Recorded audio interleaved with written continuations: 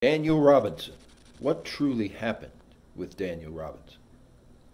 That's something we're going to ponder and cover in kind of the short update video that goes into some more exploration of what truly may have gone on with Mr. Daniel Robinson of Arizona. And this is going to be apparently the final video for a little bit here as certain things with the new platform really get settled in. So be sure to like this one, comment, as always, leave your feedback, and spread this to the general public where it really needs to be debated now. We need to find out what truly happened with Daniel Robinson. Did he disappear one day into the horizon? Did he go into a cave, perhaps? As I'll go on a little bit of a tour in the video for. Or could he indeed be in a place we haven't even thought of at this time yet? That is a very important point, and those will be explored. These are key points. Here we are. Daniel Robinson up next. Thank you. So, again, this is going to be very important in regards to the Daniel Robinson uh, disappearance and the case overall as well. The tragic disappearance of Carol Turner in the Organ Pipe Cactus National Monument. Um, this is a true story, and um, this has also appeared all the way along uh, quite often whenever looking up anything on Daniel uh, Daniel Robinson in specific. This has consistently started showing up. So Carol Turner, Carol uh, Turner, age 32, she drove to Organ Pipe Cactus National Monument in 1971. She was a postgraduate at the University of New Mexico and a very, very avid hiker who loved the outdoors. The visit to the monument, surrounded by the organ pipe cactus, was the last time she was ever seen in the area. There are many puzzling aspects to the case of Carol Turner. Search and rescue uh, teams have since reported these strange experiences.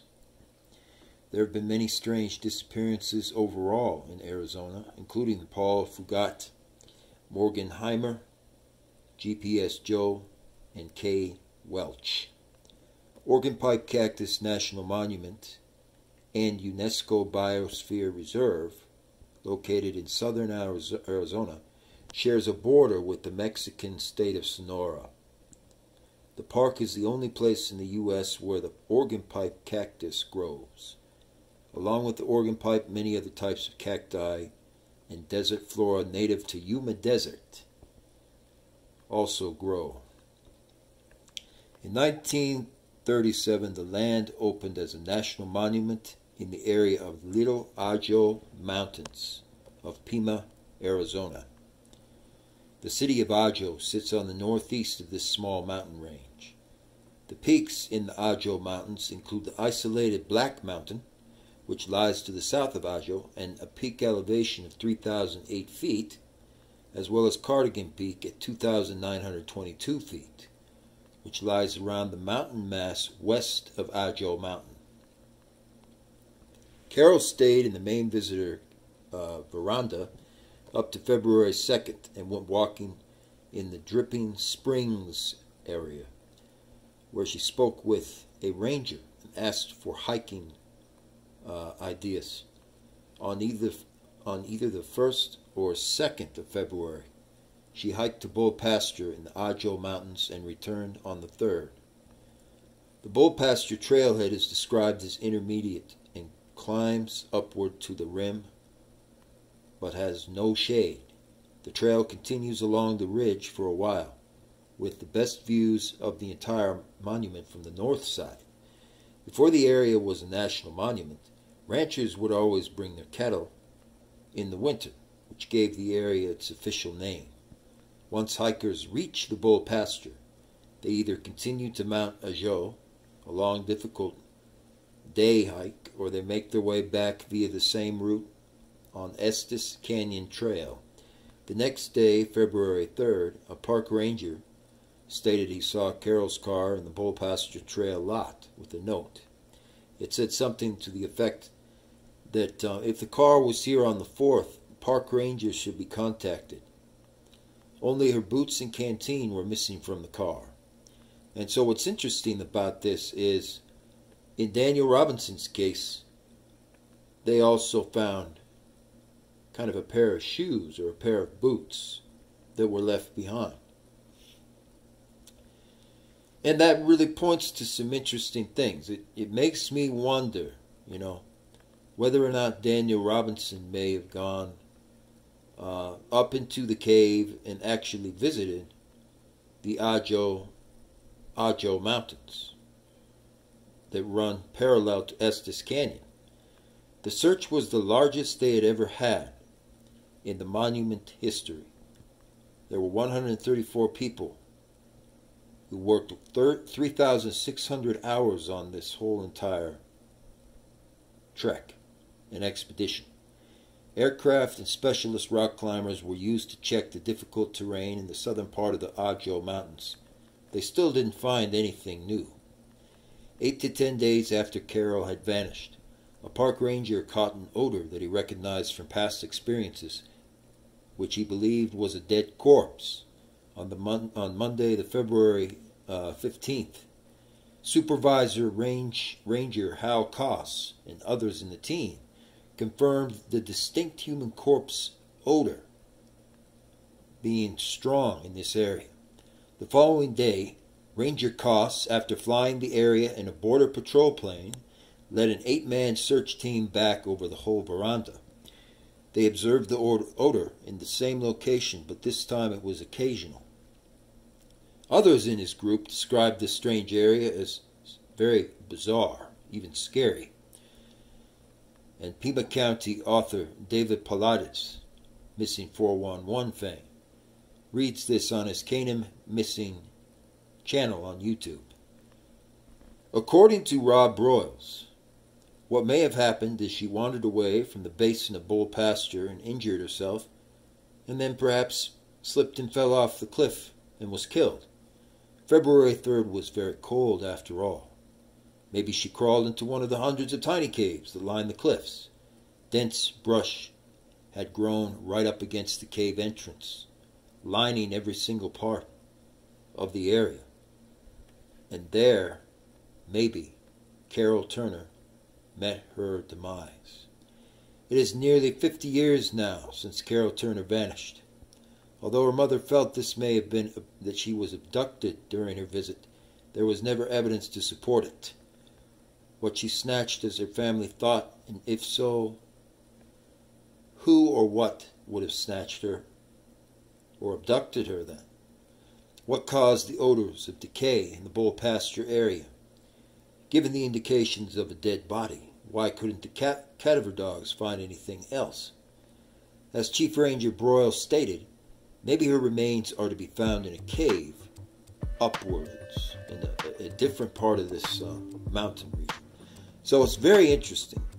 And of course, they've never found anything really concrete that links back to Turner since that time. But when you go here and you check, you know, check out the whole area, check out Ajo Mountains, uh, it looks like, you know, a very uh, suspicious area. Got all these boulders. There's a sign here that says do not ever enter when flooded. Well, what do they know that we don't? That they're making all these warnings about, you know, to not uh, not ever enter this uh, specific area.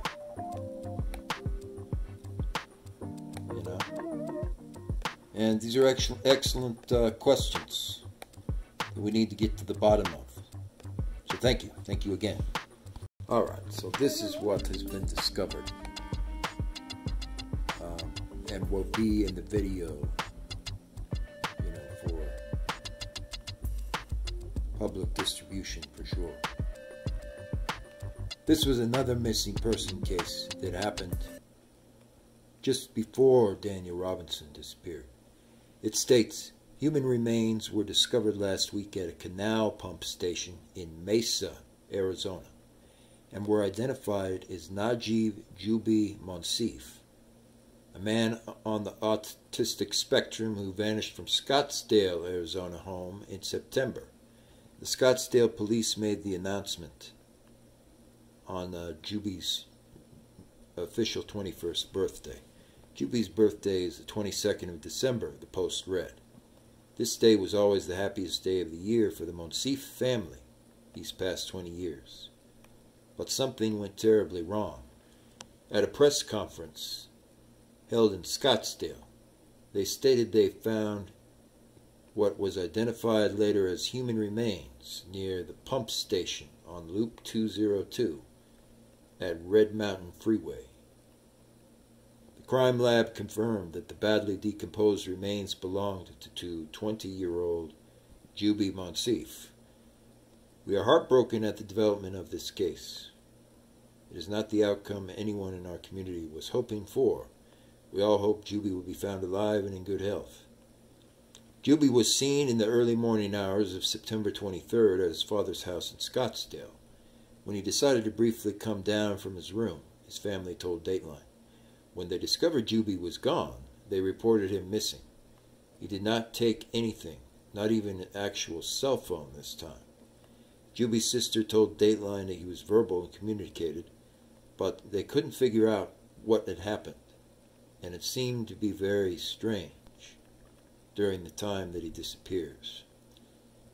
The length of the extension from where Jubi's remains were found is approximately 11 miles. Heinzelman stated one possible theory is Jubi made his way through a gap of two fence gates and then to the canal. The night prior to Jubi's disappearance, police said statements were heard like, I will be missing you, but didn't elaborate or give details about what it means. For nearly three whole months, family, friends, the community, and everyone had knocked on doors, searched houses, brought out the captor dogs, and gone through the neighborhood of the vast desert wilderness to see if Jubi would show up. Scottsdale Police partnered with Maricopa County and Central Arizona Project to, to conduct these searches. The searches utilized everything, including bicycle units and mounted patrol, to see what they might pick up. I braced myself for the day I would have to say this, but the time has come. Thank you for standing with us in this journey. So, this is interesting, of course, folks, because if we go to uh, this area here, it's basically called Red Mountain Road or Red Mountain Freeway, you know. Like, basically, it's where they describe it is uh, supposed to be at. There's really nothing out here. Um, and it's unusual because you'd expect there to be civilization of some kind. or something out here. But what we see is a vacant lot, and we see what looks like a strange looking farm, is what's out here. And so I found this very interesting because this is not that far uh, from the site where that cave is found in the area of the actual mountain range. So this is quite strange. They have self-storage out here and they have two vacant lots and there's an awful lot of green tall grass. Now, um, I don't believe necessarily here there's what's called the Lehman Academy right here as well. So I don't believe necessarily here that this is where Daniel Robinson, as far as his remains uh, would be, no. You know, Daniel Robinson may still be out, out there for sure. Um, however, this area kept coming up very strong on the map. So what I've been suggesting and uh, looking into as well is Daniel Robinson most likely stopped in this area of this address. This is a strange kind of area and there's a pump station called the and there's a a station here that's by the pump station called the Evo something school. So, you know, I just feel like this is one of the key places that Daniel Robinson definitely headed to, apparently. Probably while he was being chased.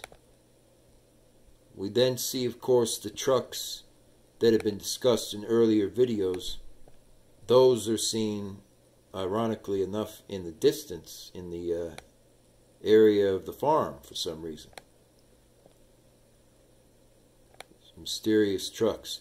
So if he was being chased, and I believe it's been proven now that he was definitely being um, chased at least, it would make sense that he came through this specific area here.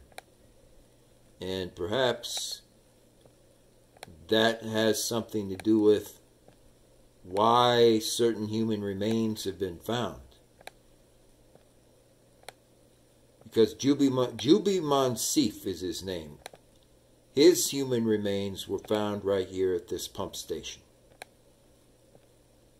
Off of, see, the free, or whatever you want to call that, the Red Mountain uh, the official Red Mountain Highway, and so forth. You know, Red Mountain Freeway. And uh, it makes me question certain things, and I wonder, you know, just just what was what was Daniel Robinson really into? Because now, based upon the evidence that I've seen, and the fact that this report has come up the way that it has, you know, come up, um, it tells me that the same people who killed Jubi and these other victims attempted to uh, kill Daniel Robinson. They were after him for sure.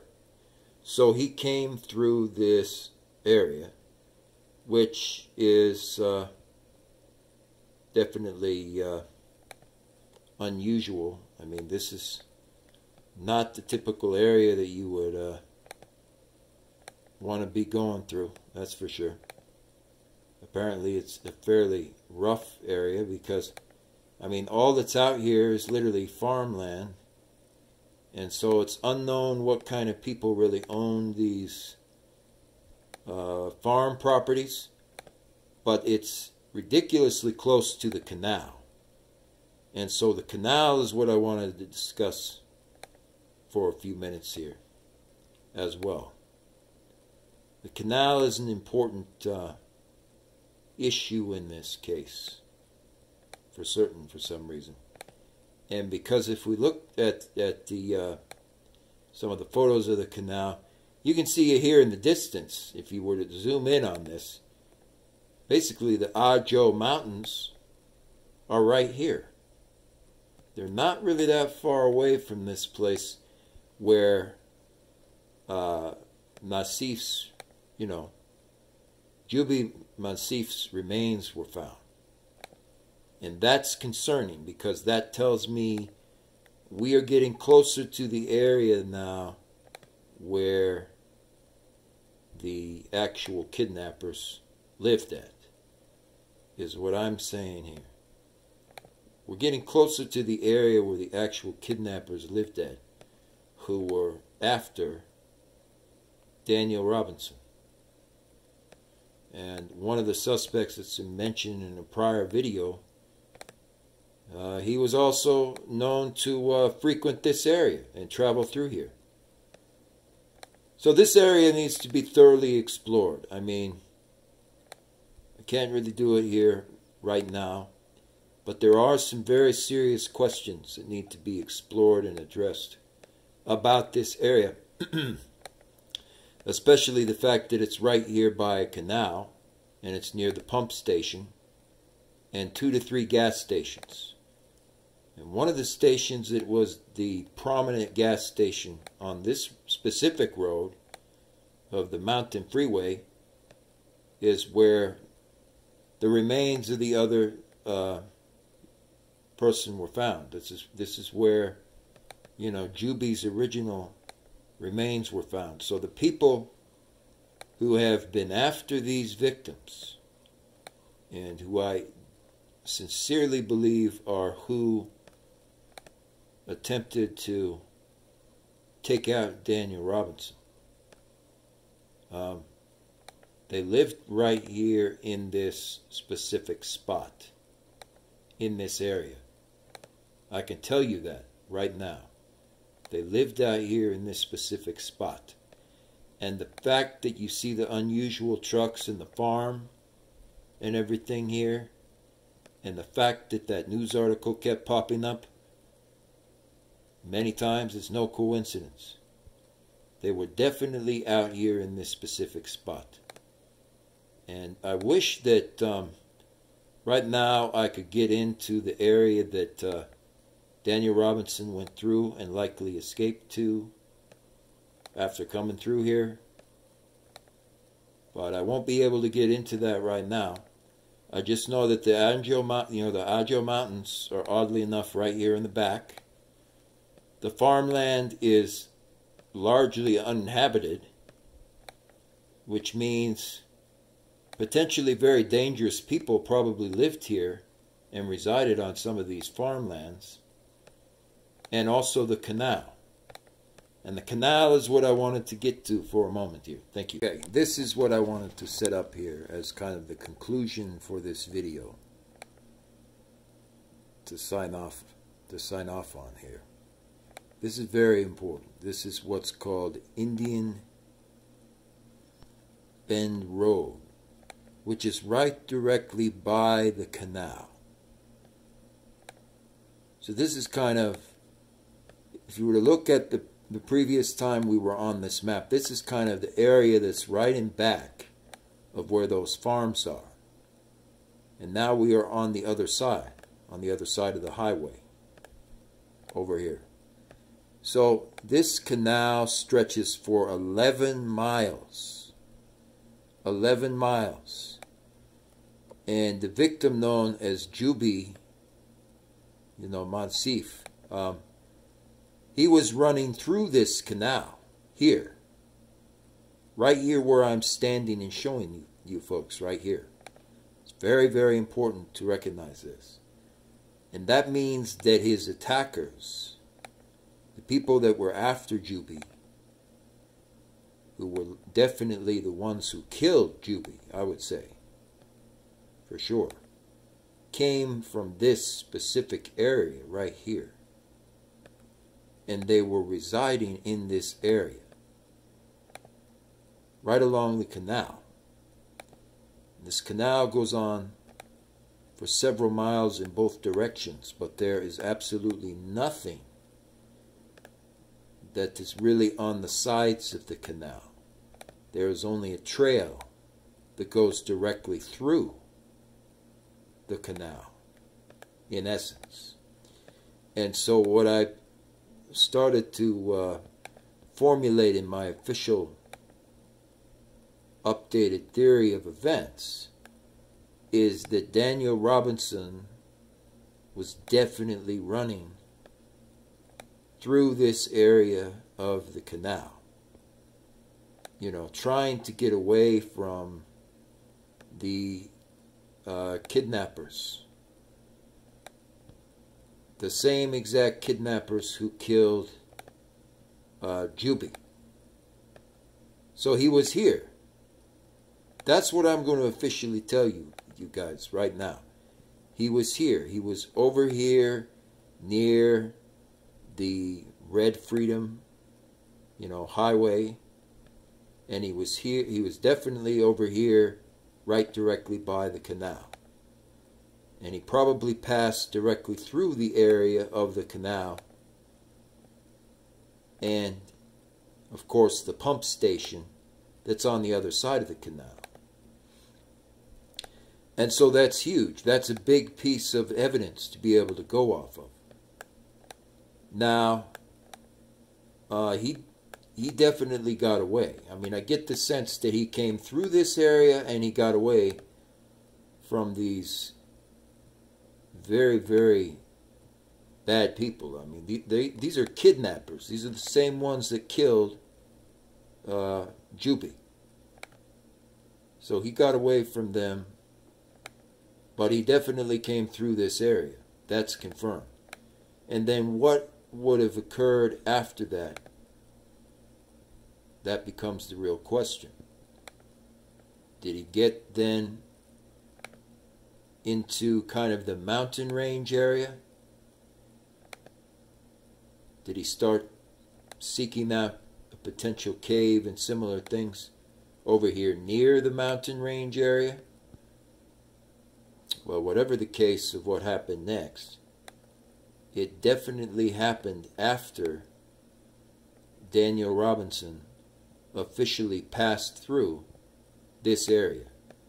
There's a reason why it kept on bringing up the canal and also, uh, you know, Indian Bend Road, which follows directly next to the canal. That's how you traverse the area of the canal without walking through very, very hazardous deposits and uh, basically the soft bed of the river similar things that are down below.